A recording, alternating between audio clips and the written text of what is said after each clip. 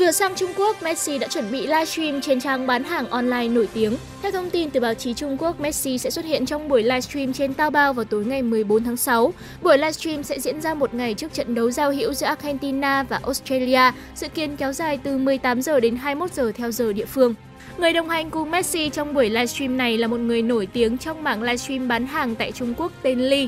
Ly từng lập thành tích bán 600.000 chai rượu trong vòng 3 tháng và thu về tới 7 triệu USD khoảng 164 tỷ đồng.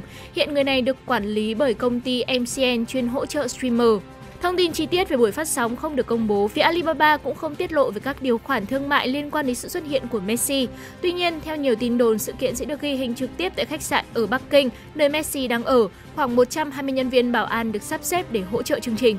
Ngay khi đặt chân đến Trung Quốc vào ngày 10 tháng 6, Messi đã ra cơn sốt khi hàng nghìn người hâm mộ xuất hiện chờ đón siêu sao bóng đá từ sân bay đến khách sạn. Nhiều tài khoản giả mạo trên mạng xã hội cũng giao bán vé xem trận đấu gói VIP được ngồi hàng đầu trên khán đài, nhận áo ký tặng từ cầu thủ Argentina với mức giá cao ngất ngưỡng.